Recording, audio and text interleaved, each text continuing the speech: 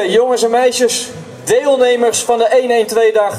Uh, op deze toch wel natte ochtend wil ik jullie allemaal van harte welkom heten. Het is nog even spannend geweest uh, of wij deze dag wel wilden doen. Uh, maar jullie als toeschouwers hebben ons overtuigd, ook via Facebook, via alle complimenten die we vorig jaar gehad hebben, dat de 112-dag 2015 helemaal super was verlopen. Wij uh, hebben geprobeerd om dit uh, vandaag nog een keer te doen. Het weer zat ons uh, nu nog heel even tegen. Zometeen komt hopelijk de zon door. En dan gaan we er weer een mooi feest van maken. En de foto's die komen allemaal weer op Facebook, dus dat gaat helemaal goed komen. Alleen er is maar één persoon die eigenlijk deze dag officieel en heel netjes altijd kan openen. Dat is voor vandaag de local burgemeester. Dus ik wil graag het aandacht aan haar geven, mevrouw Nicole Rijmakers. Dankjewel, goedemorgen. Je legt de lat wel heel hoog voor mij. uh, nou, fijn dat jullie er allemaal zijn. Uh, bezoekers al, maar ook uh, de hulpdiensten, ambulance, brandweer, politie, Rode Kruis, de Wegenwacht. Uh, en ik ben ook heel erg blij dat de tweede editie uh, georganiseerd is. De eerste editie was inderdaad een enorm succes. En ook deze keer weer als afsluiting van de Nationale Week van de Veiligheid hier op het Mijnveld en verderop ook in het centrum de dag uh, 112. Um, de bedoeling is dat jullie straks heel veel plezier gaan maken. Ik zag ook al heel veel kinderen hier rondlopen. Straks komt ook Sam, de brandweerman.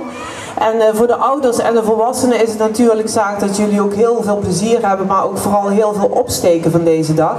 En ik kan het toch niet nalaten om heel even te zeggen dat de brandweer in Veldhoven nog op zoek is naar vrijwilligers. Dus als u zegt van nou, dat lijkt me wel wat hier, dan uh, zou ik me in ieder geval daar even melden. En ook Veilig Verkeer Nederland afdeling Veldhoven is op dit moment een nieuw afdelingsbestuur aan het formeren. En ook daar worden nog mensen voor gezocht. Dus als u zegt van ik wil een zinvolle bijdrage leveren aan de veiligheid en aan de leefbaarheid van Veldhoven, dan ga in ieder geval eens met die uh, mensen praten.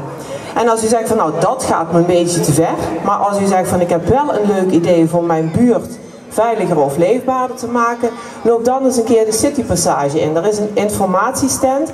Daar kunt u uw ideeën of uw initiatief uh, uh, een keer bespreken. En misschien kan er dan nog wel iets moois uitbloeien.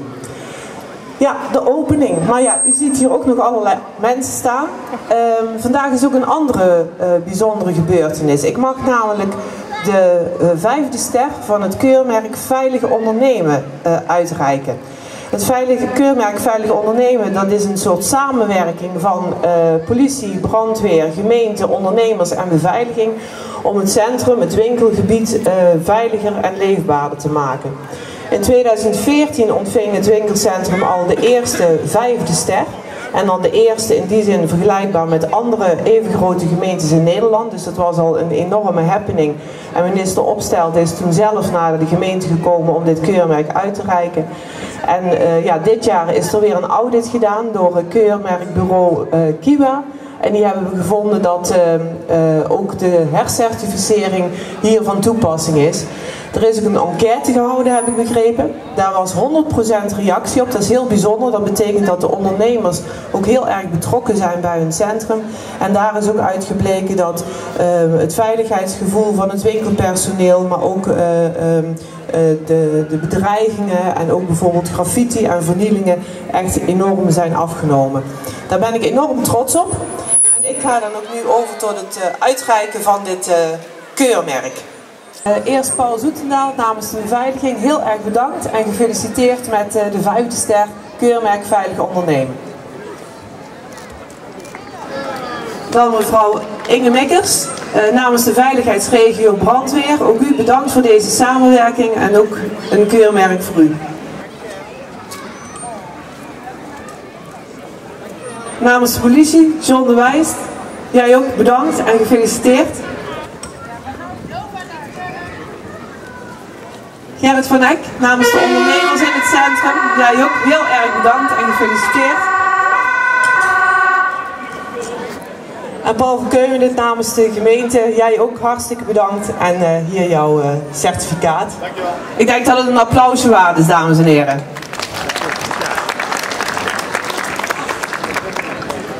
Genoeg gepraat. Uh, keurmerk is uitgedeeld. Uh, ik wil graag iedereen die hier uh, een bijdrage levert aan deze 112-dag heel erg bedankt dat jullie hier staan en dat jullie mensen inlichtingen willen geven. En aan alle bezoekers een hele fijne dag, een hele leerzame dag. En dan verklaar ik hierbij de 112-dag 2016 in Veldhoven officieel voor geopend.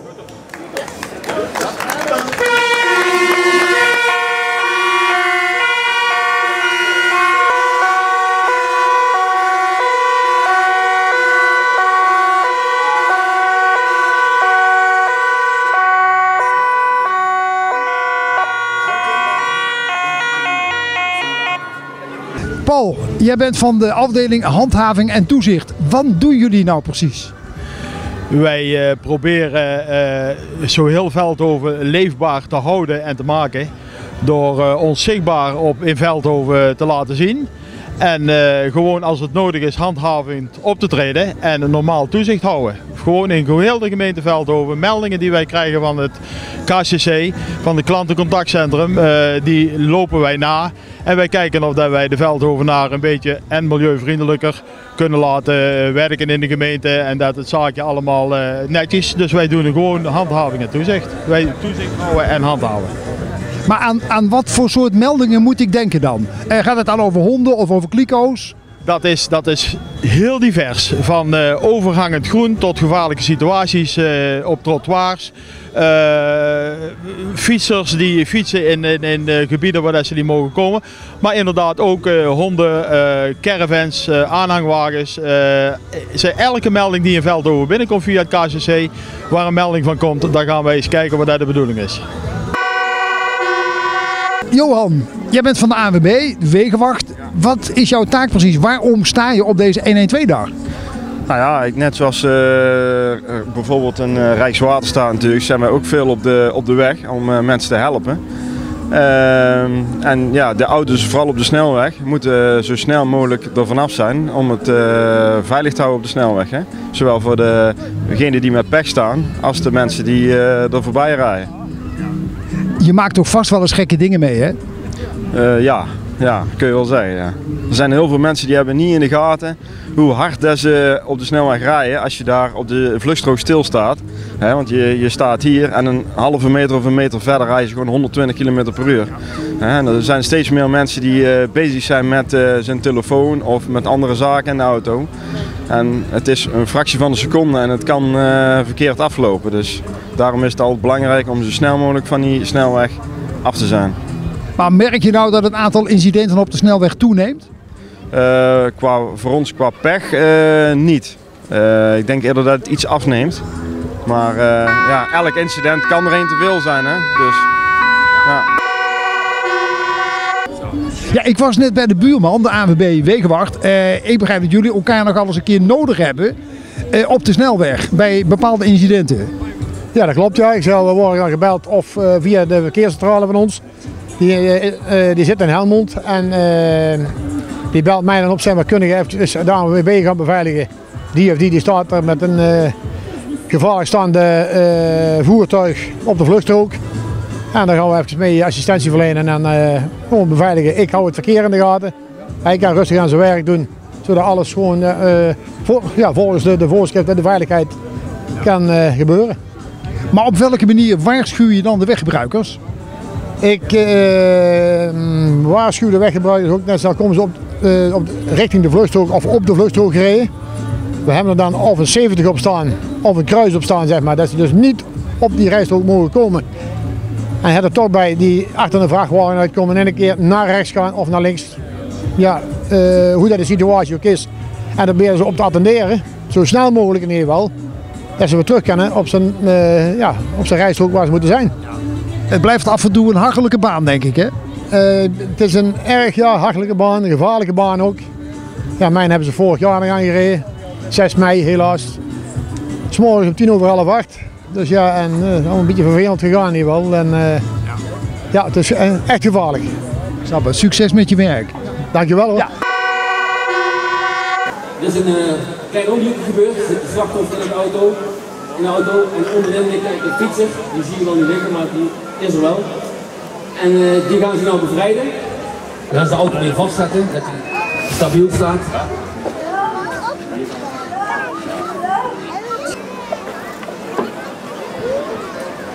Dat wordt gedaan door uh, stabilisatieblokken. En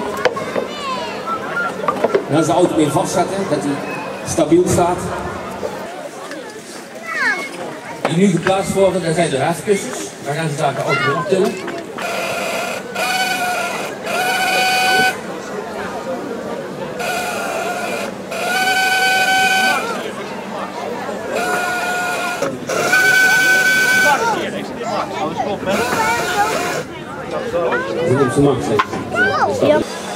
Nu gaan ze de auto vastzetten, dus dat hij blijft staan.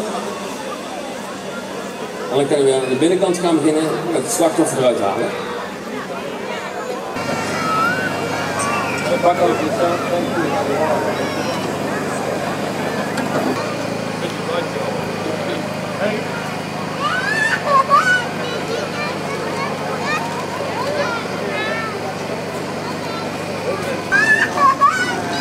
arm aan douwen. Andere. Bovenin, bovenin, bovenin.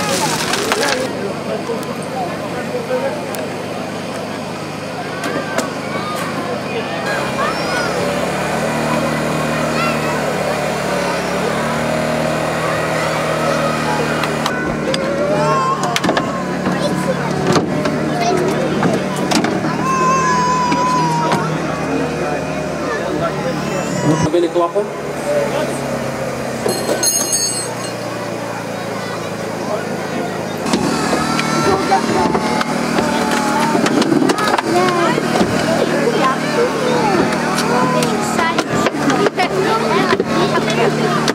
Normaal bij zo'n situatie is een ambulance aanwezig. Wat er nog doorheen zit. deur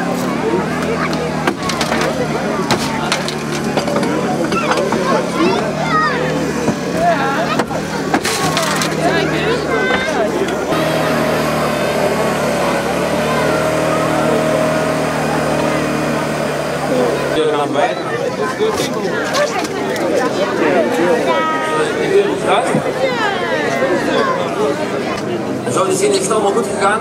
Dus uh, hij komt er heel uit uit als het goed. Ja, gelukt.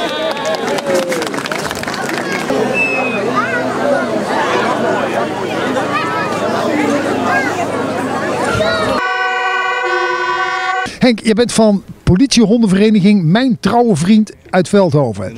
Sinds wanneer bestaat die vereniging? Die is eh, opgericht in Zeelst, want dat moet er ook bij genoemd worden natuurlijk, eh, in eh, 1944. Er zijn vandaag demonstraties in het kader van de 112-dag in Veldhoven, in het citycentrum. Wat gaat er gebeuren? Nou, we gaan eh, diverse oefeningen tonen van het programma eh, Politiehond 1 en Politiehond 2 van de KNPV. De KNPV is de Koninklijke Nederlandse Politiehondenvereniging. En die oefeningen die, eh, eh, worden dus eh, getoond elk jaar op wedstrijden en, demonstra- en eh, demonstraties ook, maar natuurlijk op keuringen. En die keuringen, daar kan een eh, certificaat gehaald worden en dan zijn ze volleerd politiehond. En die hebben we hier enkele bij lopen en we hebben er ook enkele jonge honden om te laten zien hoe wij die honden zo brengen naar het pijl dat ze moeten hebben. Eh, we gaan natuurlijk de boel vervangen, hè? Ja, dat zit erbij. Daar beginnen we niet mee, maar dat doen we wel. Ja. Maar goed, daar hebben we natuurlijk een pakwerker voor. Is dat nou een eng beroep? Nou, eh, ik heb het nooit eng gevonden, want ik ben eh, ook eh, pakwerker geweest. Heel vroeger, moet ik er wel bij zeggen. Maar nee, voor iemand die dat graag doet, is het zelfs een heel leuk beroep.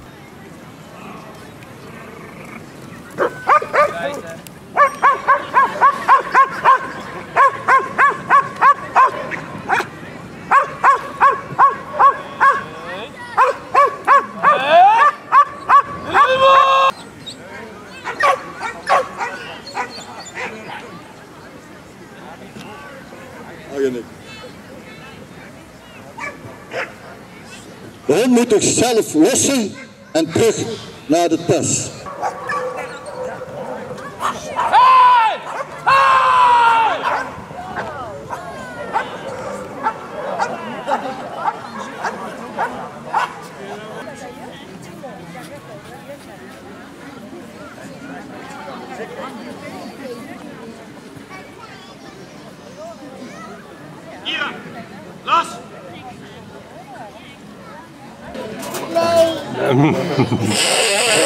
Oeh, wat... Ja. Hey, dit, dit, dit.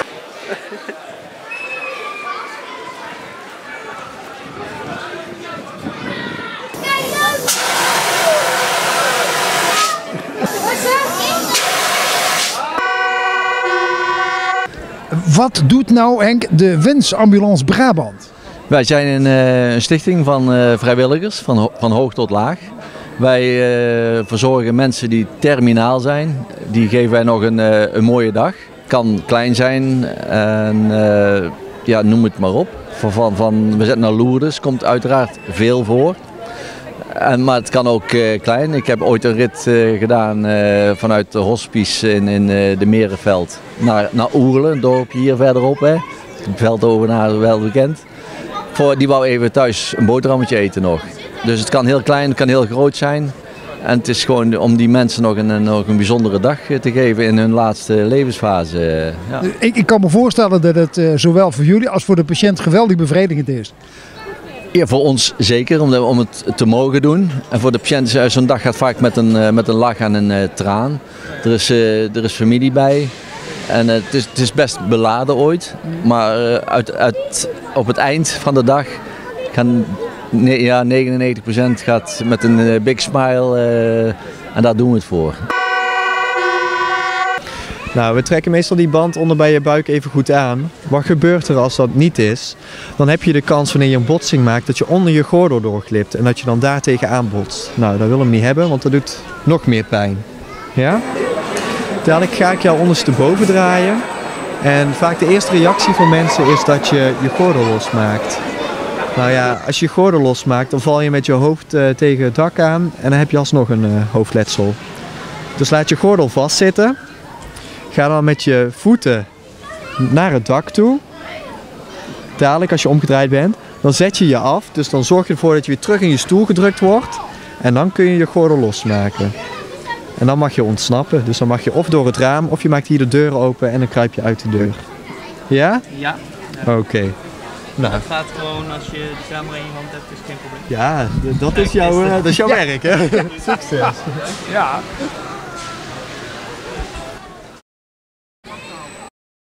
Aan die kant heb je beter beeld denk ik.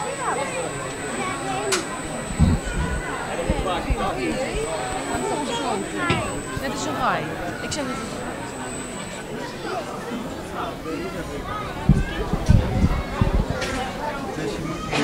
Benen. Handen ook. Zet je je af. In je stoel. Gaat in de kamer vast staan.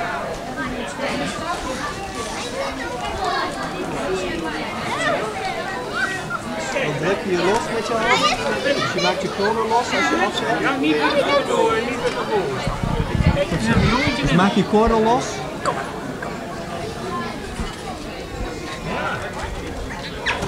Goed zo. En nu kun je langzaam naar de grond toe laten zakken op je knieën. Laat je op je knieën zakken. Goed zo. Goed. Yes, en nu kun je naar buiten proberen te kruipen. Ja, gaat goed, gaat goed.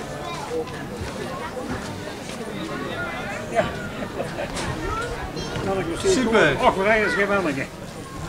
Heel goed gedaan, je hebt het overleefd. Gefeliciteerd.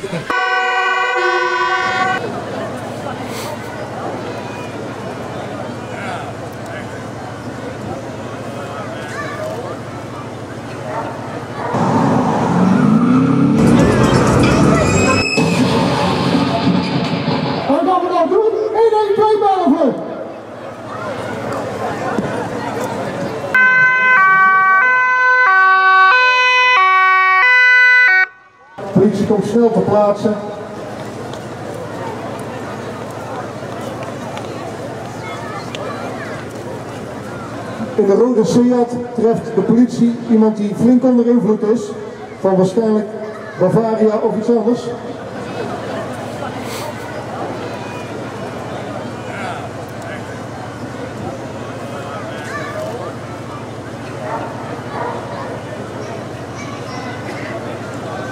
Terwijl de politiemensen zich bezighouden met de slachtoffers en mogelijke verdachten, wordt de info doorgezet naar de meldkamer.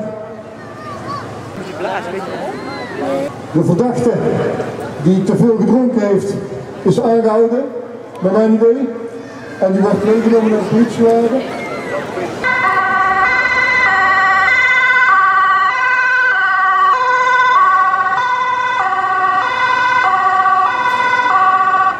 5 meter komt het gereedschap te liggen en kunnen andere mensen zich ophouden. Het is allemaal bedoeld om overzicht te houden op de situatie.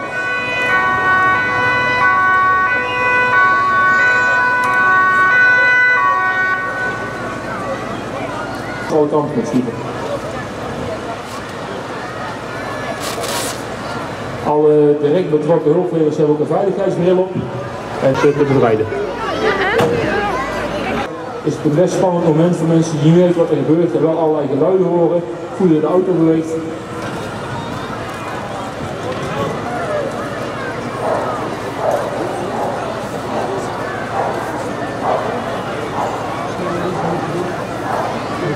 de afstand blijven. Zetten in de voorste zijde, de aanzijde. Thuis zijn of het een tijd is.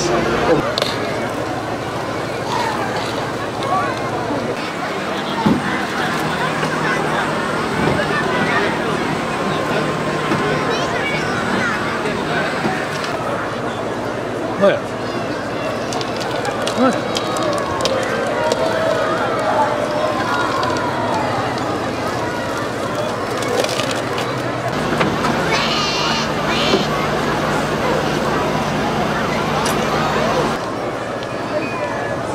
Nou is de situatie hier ideaal op een vlakke ondergrond, een harde ondergrond ook. En je kunt je voorstellen als een auto half in de wei staat en sleutel langs, dat het een hele uitdaging is om mensen te hulp.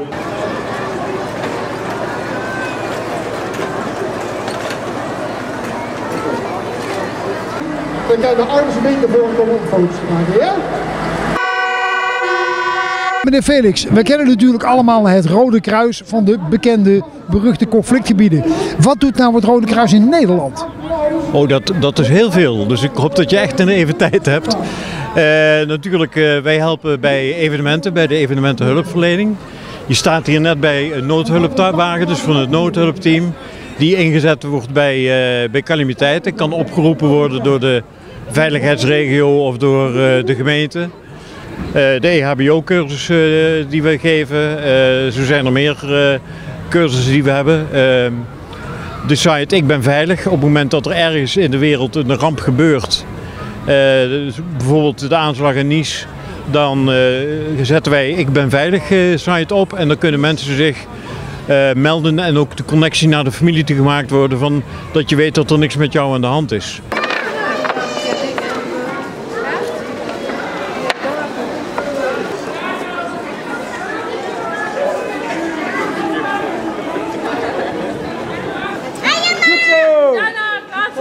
Volgende keer doen ze er wel hoor. Dat mogen ze niet. Goed zo!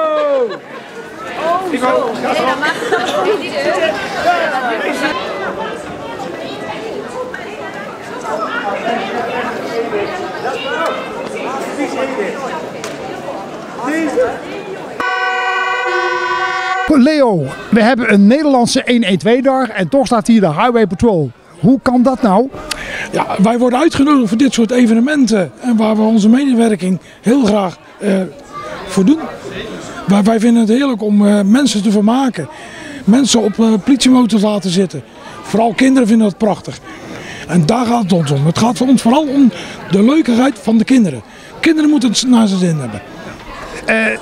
dit is een aparte club van Amerikaanse voertuigen en mensen die wat hebben met Amerikaanse politie neem ik aan. Ja, uh, waar wij van zijn, van de groep. Uh, ja, wij hebben natuurlijk enorme interesse in Amerikaanse voertuigen, politievoertuigen in dit geval. En ja, die onderhouden wij. En ja, het, is gewoon een virus, zal ik maar zeggen. Ik bedoel, je hebt het of je hebt het niet.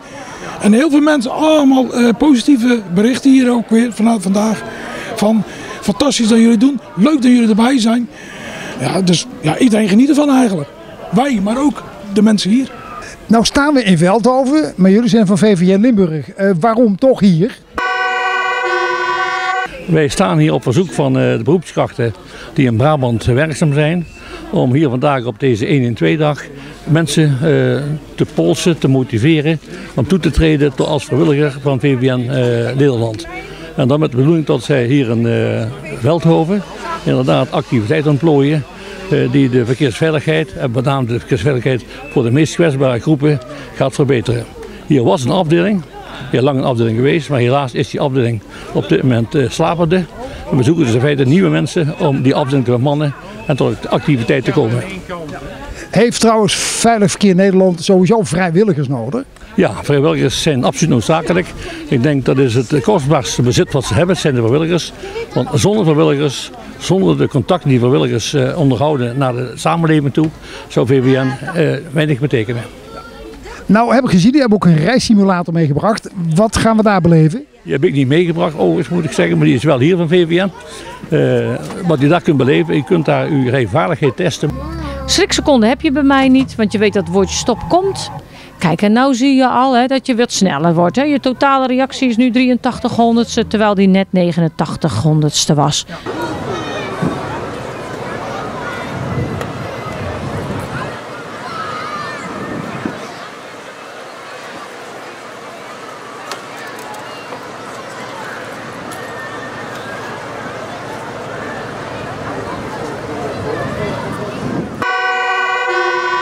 Gerrit, vandaag de vijfde ster keurmerk Veilig Ondernemen voor het Citycentrum. Wat heeft nou de gemiddelde middenstander eraan en wat heeft de omwonenden daaraan? Nou, dat houdt in het keurmerk Veilig Ondernemen, dat de mensen zich hier prettig en leefbaar kunnen voelen. De ondernemers hebben eraan, we hebben een WhatsApp-groep, een veiligheidsapp hier in het citycentrum. Dus als er calamiteiten zijn, of als er iets aan de hand is qua diefstal of uh, dat er iemand onwel geworden is, gelijk op geattendeerd kan worden. We hebben proberen het parkeren zo netjes mogelijk te regelen, het fietsprobleem. Alles netjes te regelen, alles keurig binnen de lijn te houden. Dus dat we geen, ja, maar zeggen, geen, geen rommel krijgen en houden in het centrum. Dus zo netjes mogelijk met elkaar om te gaan. buurt, ja, die mag zelf ook inspraak doen. En dat wil ook zeggen dat wij uh, hangjeugd en dat soort dingen allemaal, graffiti, allemaal proberen te weren. Dus als we meldingen krijgen van hè, er hangt weer hangjeugd, er zit weer graffiti, zo snel mogelijk weg te halen, zo snel mogelijk actie te ondernemen. En dan, ja, uit waardering krijg je dan de certificeringen dat je als gemeente met aantal inwoners het zo goed mogelijk doet. Dan zijn wij eigenlijk een beetje koploper van van Nederland. En dat is ook wel, ja, de ware vijf sterren die hebben we vorig jaar gehaald. Of twee jaar terug. En nu hebben we dan de vijfde ster plus, omdat er nog geen zesde ster is. Paul, de 112-dag 2016 zit er bijna op. Eh, hoe is het verlopen? Ja, eigenlijk heel goed. We zijn uh, vanochtend uh, toch wel grijzig begonnen. Het weer werkte niet echt mee. De nacht heeft er toch wel de nodige vocht uit de lucht gevallen. Nou ja, en kijk nu om je heen. Ik eh, moet de ogen al een beetje dichtknijpen, van de, de zon die is eh, goed doorgebroken. We hebben om twee uur een hele mooie demo gehad waar politie, brandweer, ambulance bij betrokken is geweest. En vanaf dat moment is de zon zo gaan schijnen dat iedereen gewoon bijna de jassen open doet, zeker uitdoet. Dus ja, de dag is gewoon perfect verlopen. Zeer geslaagde dag dus. En mogen we dan rekenen op een editie 2017 of zijn we daar te vroeg mee? Nou, we hebben een traditie. vorig jaar zeiden we ook al van, nou ja, een tweede editie 112 dag. Ja, wie weet, zeg nooit nooit. Nou ja, je ziet het. 2016 is een feit. Het 112 dag is bijna voorbij. Dus ik zeg, wie weet. Ja, zolang het zoveel publieke belangstelling trekt, denk ik dat het een goed evenement is.